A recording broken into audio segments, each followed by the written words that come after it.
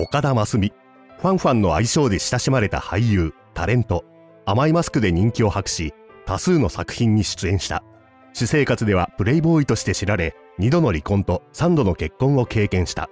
1960年米山ママ子さんと結婚。ある日アルヌールさんが来日した際に岡田真澄さんは彼女に一目惚れしてしまい不倫関係になりました。その後アルヌールさんはフランスに帰国。岡田真澄さんもその後を追いかけましたが残念ながら破局したようです。1961年には離婚。1972年藤田みどりさんと2回目の結婚。結婚生活は1994年まで続きましたが2人は離婚してしまいます。翌1995年20歳以上年下の恵子さんと再再婚。こんな風に岡田真澄さんは恋愛結婚不倫ととても情熱的でした。ご視聴ありがとうございました。チャンネル登録高評価コメントいただけたら大変喜びます。